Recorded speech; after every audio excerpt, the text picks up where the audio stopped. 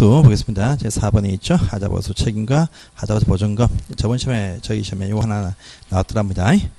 법 바뀐 게 있으니까 그것도 체크해 주시고. 자, 하자 보수 책임이죠. 이 사업 주체가 지는 책임이죠. 사업자가 주 택을 납품했으면 이에 대한 하자보수 책임을 당연히 집니다. 그래서 사업소체는 사용검사 1부터죠. 사용검사 1부터 해서 10년 어, 이내 범위에서 공사상 잘못 수행하자가 발생했을 때 청구에 따라서 책임을 진다 딱 되겠습니다. 해서 간단하게 설명하면 하겠습니다. 자, 하자보수 책임이죠. 자, 이제 우리 주택을 건설한 사업 주체 측의 책임입니다. 사업 주체가 이제 저는 책임이죠. 뿐 아니고 이제 각종 어떤 주택 단지뿐 아니고 이제 기타 각종 어떤 건축주도 어, 책임이 지, 에, 역시 발생을 합니다. 하고 기타 리모델링 한자 등도 다 책임이 집니다. 요들이 이제 건설해서 입주해 했으면 이제 어, 첫 번째입니다. 아, 하다 다무 책임 기간 요, 특정 기간 안에만 책임이 받아야 그 기간 최장 10년까지 범위 내에서 구분이 딱 되어집니다. 요 기간 내에 또 청구입니다. 청구할 때 안에서 책임을 진다. 청구는 보시면 입주자도 청구를 할 수 있고 그 다음에 입주자 대표회의도 청구를 할 수가 있습니다. 있고 기타 각종 어떤 집합금에서 관리단도 청구를 할 수가 있다 등이 쭉 있습니다. 있어요. 근데 세입자 우리 사용자는 청구에 해당이 안 됩니다. 안 돼요. 청구할 때도 청구, 청구에 따른 책임이는데 이것도 공사상입니다. 공사상. 공사상 어떤 어떤 책임이지 어, 천재 지변 책임 아니죠. 공사상 잘못된 책임이지 어떤 재해 책임은 여기서 발생을 하지 않습니다. 자, 기한은 10년인데 10년 범위 내에서 이것도 구분합니다. 그래서 이것이 하중을 바치는 책임이죠. 내력구조. 내력구조에서 발생한 어떤 하자, 이거하고 각종 어떤 시설 공사별 하자를 구분을 딱 합니다. 해가지고 이 구조 같은 경우도 이제 이것이 이것은 이제 그 건물이 붕괴될 정도의 붕괴되거나 붕괴될 우려가 있을 때 책임이 발생한다 이렇게 말하죠. 시설 공사는 각종 어떤 어, 기능상 어떤 문제, 그다음에 어떤 환경상 문제 다 책임이 다 발생을 합니다. 하는데 요 책임 발생 기 한 보시면 다시 내력 구조관에서 세우는 것이 세우는 거 기둥을 세워놨죠. 기둥과 내력벽이 있습니다. 세우는 요 구조의 어떤 하자 책임은 최장 10년까지 다 발생이 되었습니다. 그런데 눕혀놨어요. 보호 바닥 지붕, 보나 어떤 바닥이나 지붕 같이 눕혀놓은 어, 이런 식의 어떤 구조의 하자 일단은 5년까지만 책임이 발생한다. 겁니다. 시설 공사는요, 이제 어떤 것은 1년, 2년, 3년, 4년에서 다 이렇게 나뉘어져 있죠. 자, 요 같은 경우에 도토입니다. 이거 내력 구조, 내력 구조에서 발생한 하자에 대해서는요, 손해배상 책임, 손해배상 책임도 발생한다. 그래서 시설 공사는 이제 단순히 어떤 하자에 대한 보수 책임만 발생하고 내력 구조에서 발생한 하자일 때는요, 이 건물의 가치 하락 등의 손해배상 책임도 발생을 하게 되어져 있다. 겁니다. 근데 요 손해배상 청구입니다. 요 청구. 요 청구는 반드시 입주자들만이 할 수가 있지, 입주자 대표회의 등은요 가름에서 청구 못합니다. 대표회의는 하자 보수 청구를 해도 손해배상 청구는 하지 못한다라고 하는 특징 또 하나 있습니다. 있다 이렇게 말하죠. 자 청구입니다. 청구는 당연히 이들이 이제 사업주체한테 청구를 할 것입니다. 해요. 요 청구가 있으면 사업자는요 청구일로부터 10 5일, 15일 안에 하자 보수를 하든지 하자 보수 계획 일정은 통보하게 되어져 있다고 합니다. 근데 15일 되어도 15일 되어도 아무런 이 하자 보수 계획 등을 에, 통지를 안 해주면 안 해주면 이제 바로 청구자들이 직접 직접 하자 보수를 할 수 있게 된다. 이 직접 보수를 위한 비용이 뭐냐 바로 하자 보수 보전금을 써서 어, 직접 보수를 할 수가 있다 이렇게 말합니다. 있고요. 다음에 요 청구가 있으면 있으면요. 여기 응할 때는 이렇게 순수에 맞게 예, 책임이 이루어지지만 예, 그 사이에 저 분쟁, 분쟁이 발생을 할 수도 있다랍니다. 분쟁. 요 분쟁이 딱 생겼을 때입니다. 분쟁이 딱 생겼을 때 이렇게 하죠. 분쟁 처리 보시면 당사자 일방이나 상방 모두가 다 하자 심사 분쟁 뭡니까? 재판, 재판 어, 재판 신청을 할 수 있어요. 누구나 다 소송 제기를 누구나 할 수가 있습니다. 그래서 당사자 누구나 소송 제기할 수 있다랍니다. 또요, 당사 일방이나 상방 층에서 누구나 하자 심사 분쟁 조정을 신청을 할 수가 있다랍니다. 요 조정 신청 같은 경우가 바로 어, 국토교통부 장관이 두고 있는 음, 하자 심사 분쟁 조정위원회에다가 신청을 할 수가 있다. 겁니다. 그 다음에 다시 요 분쟁이 있을 때 다시 하나 더 있습니다. 뭐냐? 하자 진단, 하자 진단을 의뢰해 볼 수가 있다가 나오는데 요 진단을 의뢰할 때는요. 당사자, 이쪽은 누구나 있지만 이쪽은 반드시 당사자 간의 협의 또는 합의가 되었을 때 한해서 진단 신청을 할 수가 있다. 이렇게 딱 나옵니다. 컨트롤입니다. 컨트롤이고 이제 내용 보겠습니다. 자, 그래서 1번 보시면 사업자는 사용 검사일부터 저장 10년 이내 범위 안에서 공사상 발생한 하자로 인한 청구가 있을 때 책임이 발생한다. 딱 되어 있고요. 요 담보 책임 안에 내력 구조 부위에 중대한 하자가 발생했을 때 안에서 손해배상 책임도 발생한다. 이렇게 얘기했습니다. 다음에 두 번째 담보책임 기간 딱 나와 있죠. 시설 공사별은 기기능 미관 안정 등의 어떤 하자를 말하는데 1년에서 어 1, 2, 3, 4, 4년까지 이렇게 다양하게 책임이 발생이 된다. 이렇게 딱 나와 있습니다. 나와 있고 그다음에 내력 구조 같은 경우는 붕괴될 정도의 우려 사항이 바로 하자로 보는 것인데 그 담보책임 기간 보시면 세우는 것이죠. 기존 내력배우 딱 세우는 것은 10년까지입니다. 근데 높이는 것은 보바닥 지붕 5년까지 책임이 발생한다. 이렇게 딱 나와 있습니다. 기억하시고요. 그 다음에 어, 절차입니다. 1번 입자 대표의 등이 하자가 발생이 딱 되어지면 그 보수를 청구할 수 있다. 이럴 때 요 청구가 있으면 청구일부터 15일 안에 사업자는 하자를 보수하거나 보수 계획을 통보해야 된다. 이렇게 딱 나와 있습니다. 나와 있고요. 자, 그 다음에 요 기한 되어도 보세요. 밑에 보시면 이번에 그러나 다음의 경우는 대표회의 등이 직접 보수를 할 수가 있다 등이 딱 나와 있습니다. 있는데 어떤 경우냐니까 기억 사업자가 15일 안에 보수를 하지 않거나 보수 계획을 통보하지 아니할 때 그렇다라고 합니다. 근데 하자 진단을 의뢰할 때는 당사 합의가 필요하다. 이렇게 또 기억이 나와 있습니다. 또, 또, 또 있습니다. 하자 심사 분쟁 조정 결과 하자 맞다고 조정안이 나왔는데 요 조정 결과에 따르지 아니할 때 여기에 응하지 아니할 때도 직접 보수를 할 수가 있다. 이렇게 이어서 이언도 나와 있습니다. 그래서 보십시오. 그래서 딱 넘어가시고 다음 페이지입니다. 3번 대표회의 등이 하자 보수 보정금을 청구합니다. 그래서 이 직접 보수를 위해서 보증금을 청구합니다. 그래서 보증금 납입이 아니라 청구를 딱 하면 청구가 딱 있으면 이 보증금을 예치한 각종 어떤 기관에서는요. 보증금을 예치받은 그 기관 은행 등에서는요 청구에 있으면 30일 안에 요 아, 보증금을 지급하게 되어져 있다. 이렇게 또 탁 나와 있습니다. 이것도 체크하시기 바랍니다. 그 다음에 3번입니다. 안전진단 하자진단 하자 감정이 나왔죠. 이건 여기입니다. 안전진단 이거 아닙니다. 안전진단은 사 보시면 여기입니다. 안전진단에서 무엇이냐라고 하니까 이것은 일반적인 일반적인 그 안전점검 안전점검을 딱 해보니까 어? 안전 점검을 딱 해보니까 안전 점검 요 안전 점검 결과 건물이 붕괴될 우려에 따라고 판단이 딱 되어집니다. 이 사실을 관할 시군구청장이 보고를 딱 받습니다. 받으면 이것이 당신들 하자 담보 책임기한 안에 발생이 되어진 하자 때문에 어, 그렇게 발생한 위험이다. 판단 딱 되어지면 관할 시군구가 이것을 어, 안전 진단을 의뢰한다. 관할 시군구청장이 안전 진단을 의뢰를 할 수가 있다고 합니다. 예. 이때 요 안전 진단에 드는 비용입니다. 비용. 이것은 원래 원칙은요. 지금 담보 책임기한 안에 발생이 되어진 안전 점검 결과 하자 판정이 딱 되어지면 요 비용은 사업자 당신이 책임진다. 이렇게 사업조치한테 책임을 맡기는 어떤 그런 비용입니다. 그런데 에, 검사를 진단을 해보니까 사업자 측의 책임이 아니다라고 확인 딱 되어지면 요 비용은요 바로 구분징수 구분징수한다 해서 안전진단 실시 비용과 장기소송 충당하면 구분징수하는 항목이다 이렇게 딱 나오는 것입니다 자 요때 진단 의뢰한 기간이 5기간이 딱 나와요 해서 보시면 안전진단 전문기간 나오죠 안전진단 전문기간이 딱 나옵니다 안전진단 전문기간 또 건설기술연구원 시설안전공단 딱 나오죠.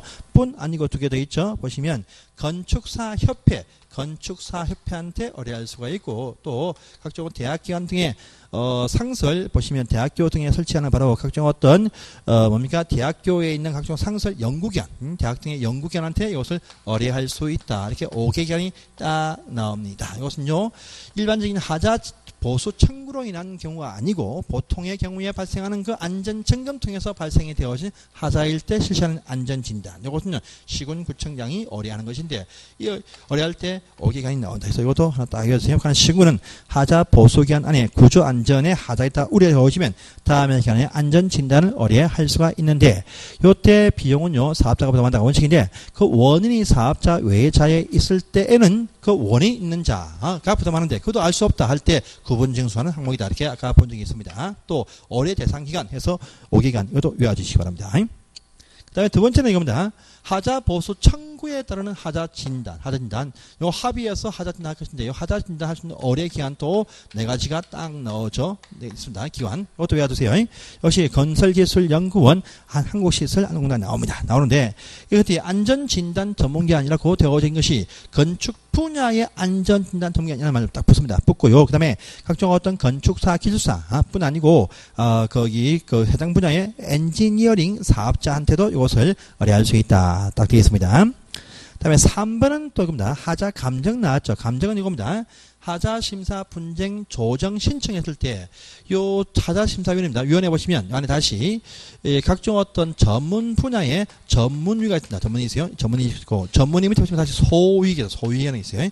있는데 요 전문위원회 하자 심사 분쟁 전문위원회 하자 심사 분쟁 하자 심사 분쟁 위원회 전체 내에서 있는 또 하자 심사에 대한 전문위원회 여기서 여기서 하자 감정을 다시 의뢰를 할 수가 있다. 그래서 하자 감정 이런 것은 나오면 청구한 것이 아니고 요 전문위원회에서 의뢰를 하는 것이다. 이렇게 합니다. 그래서 하자 심사 분쟁 조정위원회에서 의뢰하는 것이 바로 감정입니다. 감정이에요. 감정인데 요 보세요. 하자 심사 분쟁 조정위의 분과위원회에서는 다시 하자 감정을 의뢰할 수가 있다고 합니다. 이때 보시면 하자 진단 결과에 따라서 서로 다투는 사건 딱 나오면 첫 번째 나오고요. 다음에 두 번째 보시면 어, 당사자 일방 또는 상방이 요청할 때도 그게 포함된다. 딱 나오고 또 진단하다 보니까 뭔가 원인이 애매하다, 애매하다, 아주 애매한 그런 사건이 딱 보일 때 감정할 수 있다. 그래서 보시면 하자 진단 결과에 불응하는 사건, 또 기타 어, 요청하는 사건 또 진단하다 보니까 뭔가 애매한 사건이 딱 보이면 다시 전문가한테 감정을 요청을 할 수가 있다. 이 말 되겠습니다. 이때 감정 요청 기한이 또 나옵니다. 자 건기현 시항공 똑같이 나옵니다. 나오는데 이때는 안전진단 전문기관이 없습니다. 또 국공립 관련 그 어딘가 검사기관도 할 수 있다. 국공립 관련 검사기관한테 의뢰할 수 있고 또 대학교의 부설 연구원한테 의뢰할 수 있다. 그래서 한국건설기술연구원, 시설안전공단, 국공립 어, 검사기관과 대학교 부설 연구소에 의뢰할 수 있다. 이렇게 아시면 되겠습니다. 자, 그런데 이때 하자 진단한 비용과 하자 감정한 요 비용은 어떻게 할 것이냐라고 합니다. 당사자 간의 협의해서 정한다. 라고 합니다. 어? 또 협의한 결과 이 입주자 측에서 책임이 책임이 발생하는 비용이 있다라면 이때 우리가 하자 조정 비용, 하자 진단 비용, 하자 감정 비용 바로 입주자 전체의 과반수가 서면 동의한다라면 충당금으로 전용할 수 있는 비용으로 바뀌어버리겠죠. 그래서 보시면 하자 진단과 감정 비용은 당사간 합의한 바에서 부담한다. 돼 있고 감정 비용이 합의가 안 됐을 는 위원회에서 부담비를 정해준다. 합니다.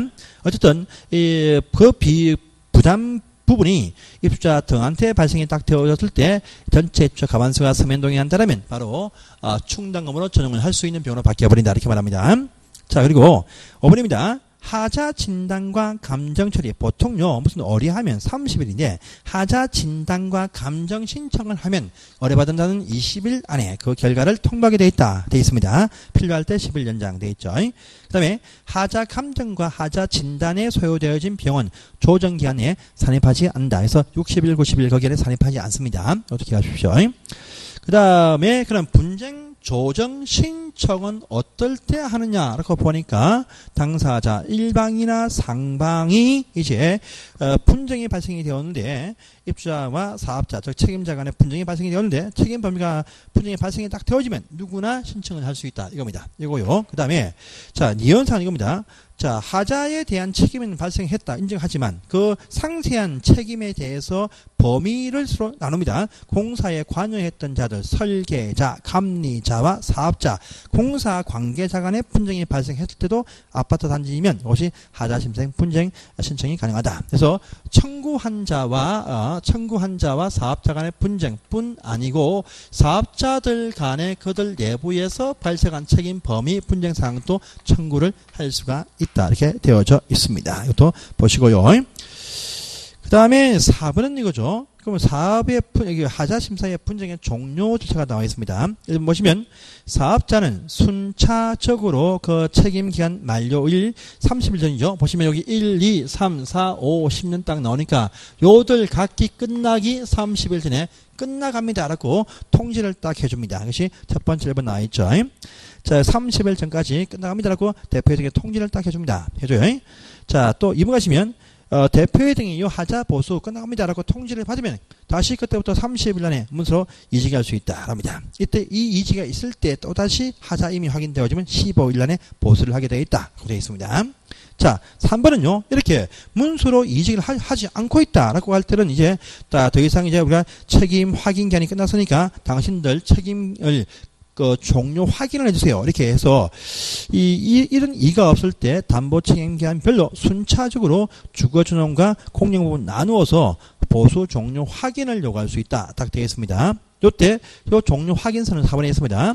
각기 입주자 또는 그 대리인이 서면 확인한 것인데 공용 부분은 전체 입주자의 5분의 4 이상의 서면 확인이 있을 때 해당 부분에 대한 책임이 어, 끝나간다. 이렇게 예, 정리하십시오. 그래서 4번에 있습니다.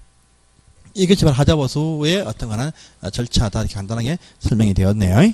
자 보시고 그 다음에 오른편에 2번이죠.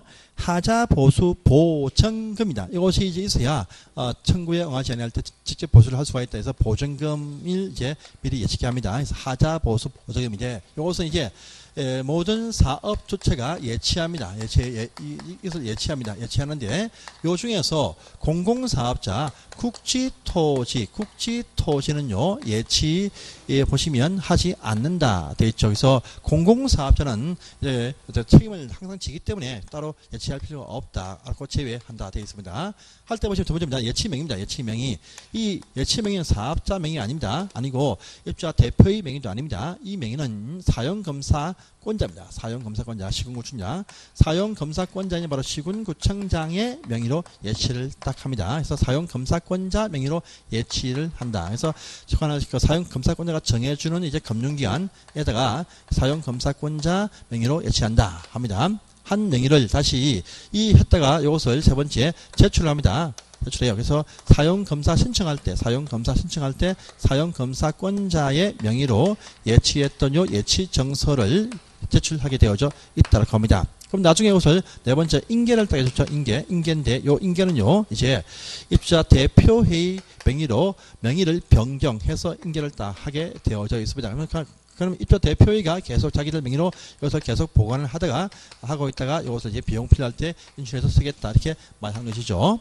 이때 보시면 어, 예측 방법이 또난 방법 방법 딱 보시면 현금으로 할 수도 있지만 현금으로 그냥 하겠죠. 방법은 현금으로도 할 수가 있고 현금 또는 각종 어떤 보증서도 가능하다가 딱 나옵니다. 이때 보증서 4개 나오죠.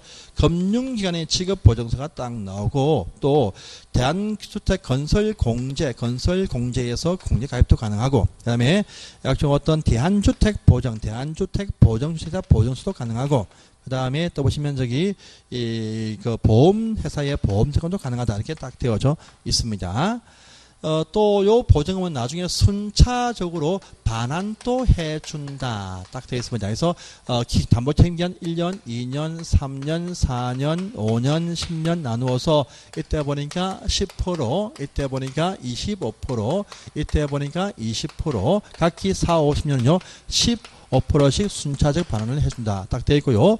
이 보전금 가입 금액은 총 공사비의 3%, 땅값 빼고 공사 투입된 비용의 3%의 어떤 에, 어, 현금이나 또는 보정서도 예치한다. 이렇게 딱 되어져 있습니다. 이것이 보고 나서 찾아보겠습니다. 1번 사업주체는 사용검사권자가 정하는 은행에 현금이나 다음에 보정서를 이제 사용검사권자 명의로 예치해서 사용검사 신청할 때 이것을 제출한다. 되어 있습니다. 단 국지토지공사업자는 예치할 필요가 없다. 되어 있습니다. 기억에 대한주택 보증의 보정서, 건설 공유조합의 보정서, 또 보험회사의 이행 보험증권, 그 다음에 금융기관 측의 보정서 등이 있습니다. 네개 있습니다. 그 다음에 이번에 사용검사권자는요 대표회가 구성이 딱 되어지면 그 보증금 예치 명의를 대표의 명의로 변경해 준다. 돼 있고 대표회의가 이 책임기한 종료할 때까지 직접 보관해서 관리하게 됩니다. 넘어가시고 다음 페이지 예치 금액 딱 보시면 3% 금액이다 해서 어, 땅값은 빼고 공사에 투입된 비용의 3%입니다. 그래서 대지값은 항상 빼게 되어 있습니다. 땅값 빼고 공사에 투입된 비용의 3%다 되어 있어요. 3번입니다. 하자 보수 보증금의 사용 용도도 제한받습니다. 특히 이런 용도로서 보증금을 사용했을 때는 그 사용 30일 안에 관할 신고한테 사용 내역도 신고하게 되겠습니다. 자 보니까 그 보수금의 사용 용도 해서 1번 분쟁조정위원회, 분쟁조정위원회에서 어, 하자 판정한 그 이행을 위한 어떤 비용, 응? 그 조정위원회에서 판정한 비- 비- 비용입니다. 이번에 또 이번 똑같아요. 이번 또 보시면 하자 심사 분쟁 조정회에서 보낸 조정 조서에 따라서 하자 분쟁 하자 할 때, 하자 그 부사할 때, 둘 다 1, 2번 둘 다 하자 심사 분쟁 조정위원회의 조정 결과라든지 그 조정 조서에 따르는 하자 부수 비용 딱 나왔습니다. 또 하자 진단 결과에 따르는 어떤 이행을 위해서 아, 쓸수 있고 또 어, 재판 소송을 통해서 재판 결과에 따라서 어떤 비용 필요할 때 쓸 수 있다. 그래서 하자 심사 분쟁 조정 위원회의 조정 어, 서라든지 그 조정 결과 또 하자 진단 결과 소송 결과로서 비용을 쓸 수 있다. 그러면 하자 감정은 뭐냐? 감정은요 위원회에서 하는 것이기 때문에 위원회에서 감정을 다 해가지고 검토해서 조정서를 보내줍니다. 그러니까 조정이란 내용 속에 요 감정 결과도 포함이 되어 있겠죠. 예, 그러니까 감정은 빼고 조정, 조정, 조정서의 어떤 어, 조정서 내용들의 어떤 하자 보수를 위해서 또 요 조정 결과에 따른 하자 보수 이용, 그다음에 소송 결과, 그다음에 하자 진단 결과에 따른 하자 보수 비용으로 쓸 수 있다 되어 있습니다. 그러니까 하자 조정, 진단, 소송 결과에 따른 이용만 할 수가 있다 이겁니다. 그 다음에 순서 반응해서 10% 25%쭉 나오죠. 이것도 어, 외워주시기 바랍니다. 하자 버섯버섯 반환입니다. 그 다음에 밑에 하자 심사 분쟁 조정위원회 국토장관이 둡니다. 그래서 보통 위원회 하면 시군구에서 많이 두는데 그래서 하자 심사 분쟁은요 국장이 둔다 되어 있고요. 전체 위원이 50명 이내이고 다섯 개 분과위가 있고 다시 분과위별로 어, 각- 각기 또 5개의 소위가 있다 이렇게 말합니다. 업무는 넘어가시는데 그 밑에 그러면 제일 밑에 보시면 이번에 소위원회입니다. 어, 분과위 밑에 있는 각종 작은 소위원회들의 사무는 어디까지냐 하니까 1천만 원면 소액 사건하고 하자 발견과 보수가 쉬운 주거 전용 부분의 마감 공사에서 발생한 하자 등에 대해서만 심사한다 되어 있습니다. 단 그 마감 공사 단열 공사는 또 제외한다는 부분도 체크를 딱 해주세요. 보시고 오른편 갑니다. 3번 중요하죠. 하자 심사 분쟁의 조정 신청이 있으면 60일 안에 절차 완료합니다. 근데 공용 부분 하자는요 90일 내에 완료한다. 그래서 이것이 60일 90일입니다. 건축 으로 가시면 건축 분쟁은 이제 60일, 120일 되긴 60일, 90일 되겠습니다. 완료할 것이고 그 다음에 또 3번입니다. 어, 조정안을 제시받은 그 당사자는 그 제시받은 날부터 15일 안에 그 수락 여부를 통보를 해야 됩니다. 이때 만약에 수락한다라고 통보를 했더라면 4번처럼요 화해가 보죠 그 합의가 아니고 재판상 화해와 같도록 있다 있죠. 그래서 보통 보시면 위원회 결과에 대해서 수락을 표시하면 대부분 다 합의 같은 걸로 본다 이렇게 다 설명이 되어지는데 이때 맞으면요 재판상 화해와 같도록 있다. 그래서 하자 심사 분쟁 조정 결과에 승낙을 하면 재판상 화해와 같아 흐르겠다. 이것도 딱 체크를 딱 해주세요.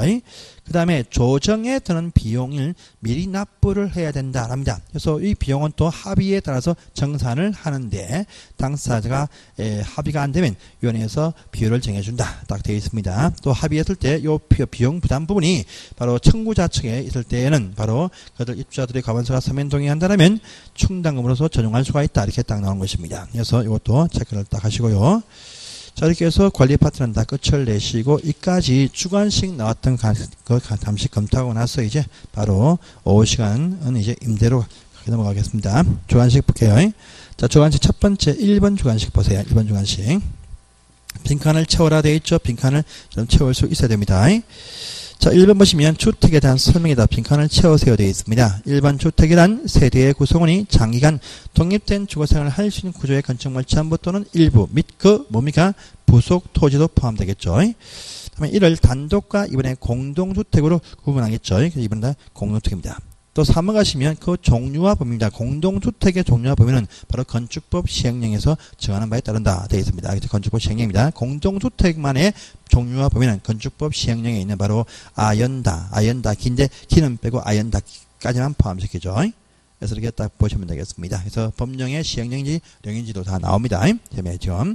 2번입니다. 세대 구분행이죠. 빈칸을 채워라 되겠습니다. 세대 구분행 공동택 주택 공간 내부 일부를 세대별 구분해서, 구분해서 생활할 수 있는 것을 말하는데 그 공간 일부에 대해서는 절대 구분 소유죠. 구분 소유할 수 없죠. 구분 등기 아니고 구분 소유는 할 수 없다. 라면서 각각 공간은요. 뭡니까?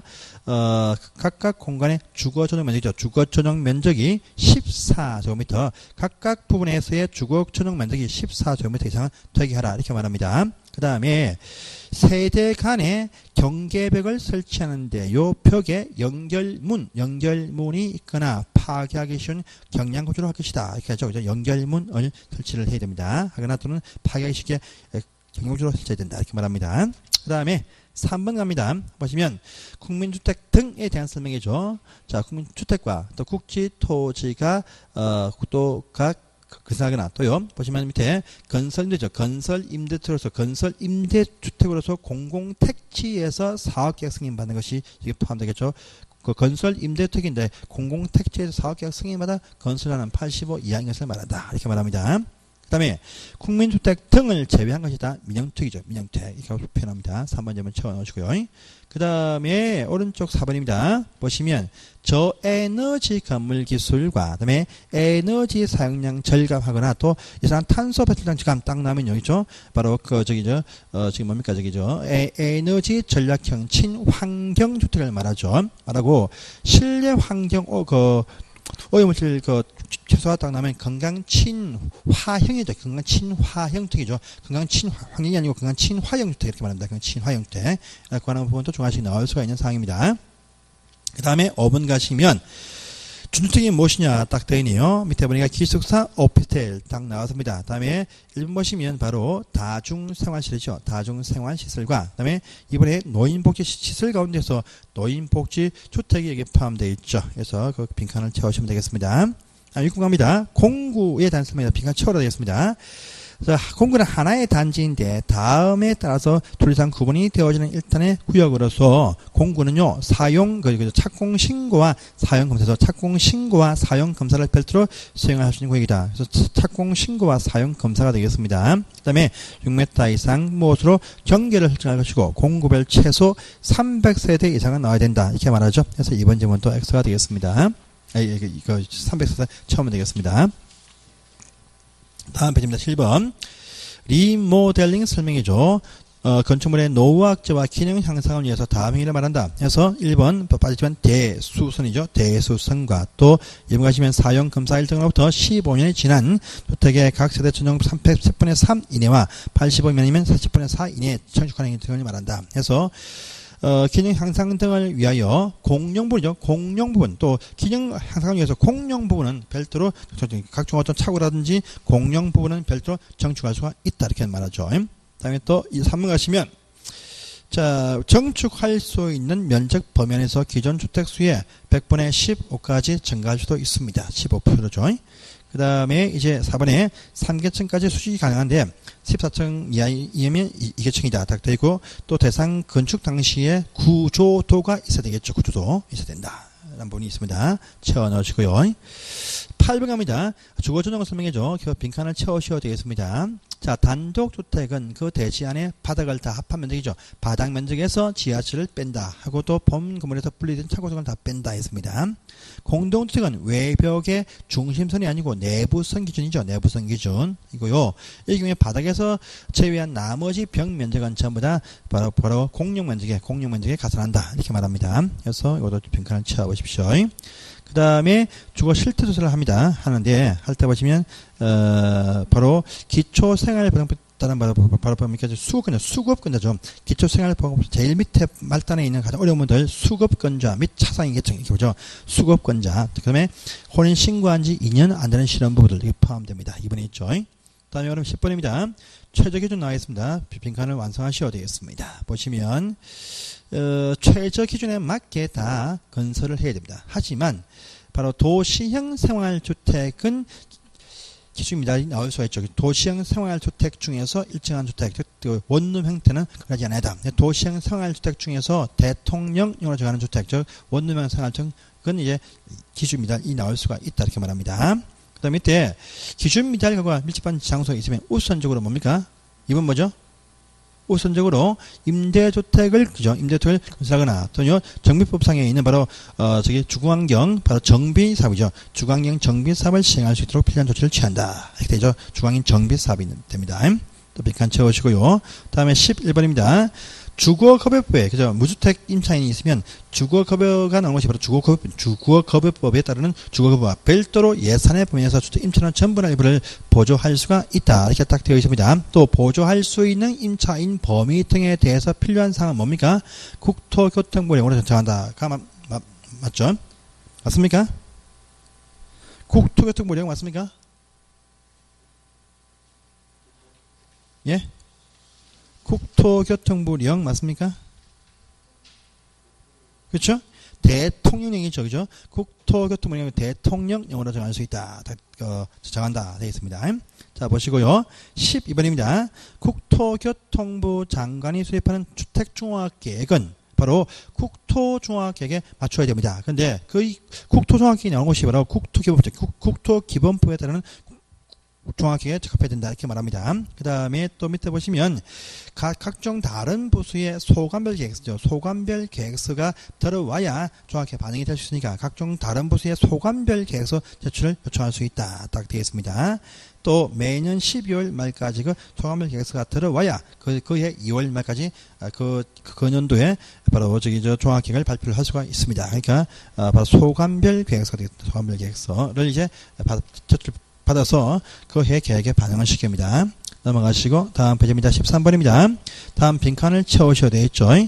연간 20호 등 이상을 건설할 자들과 다음에 도시형 생활주택의 경우와 기타 뭡니까 원룸형이죠 원룸형 주택과 원룸형 주택과 기타 함께, 함께 건축할 때 등이면 3세대 이상을 지을 자들은 또 대지 연간 1만 이상 조성할 자들이 등록한다 그러니까 1번은요 이제 원룸형이고 2번은요 연간 1만 정도 이상의 대 조성 사업할 때도 등록이 필요하다 이 말 되겠습니다 그러니까 채우시고요.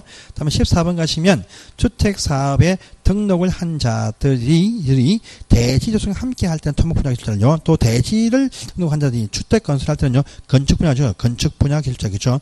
어, 주택 건설 등록 환자가 대지 공사할 때는 토목 분야 기술자를 또 대지 등록 환자가 건축 사업할 때는 건축 분야 기술자, 건축 분야 기술자를 각각 확보해야 한다. 이렇게 말합니다. 또, 자, 자본금 요건을 정하지 않는다. 딱 나오면요. 무자본 특수법인 딱 나오고요. 또 임대법에 따라서 특수목적법인은 기술자와 사무실 요건 적용 안 한다. 그래서 위에 2번은요. 무자본 특수법인, 3번은 그냥 특수목적법인 이렇게 부릅니다.